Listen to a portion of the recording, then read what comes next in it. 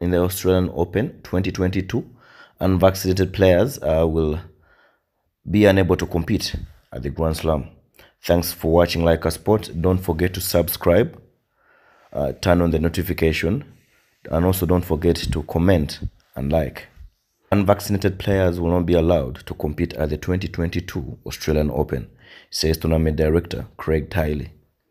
There had been confusion over the issue of the recent months with contradictory statements from leading Australian politicians.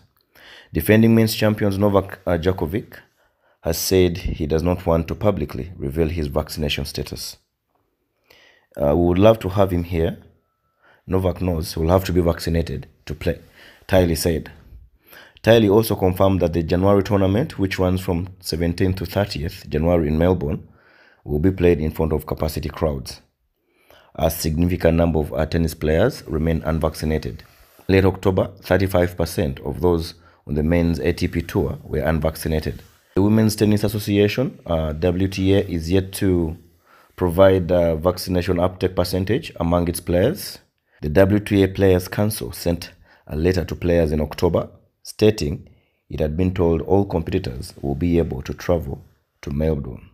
The WTA Players Council sent a letter to players in October stating it had been told all players would be able to travel to Melbourne.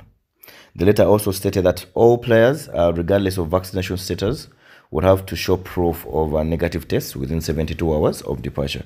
However, Victoria Premier Daniel Andrews said in October that he did not think unvaccinated tennis player would be given a visa to enter Australia.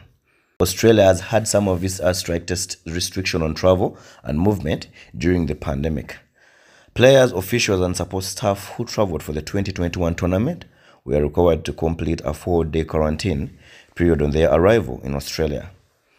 Some were not allowed to leave their rooms after coronavirus cases were detected on their flights, leading them to set up uh, makeshift practices in their rooms. England's men's uh, cricket team, who are currently in Australia for the Ashes, spent two weeks in quarantine at Gold Coast Resort before they could begin fully preparations.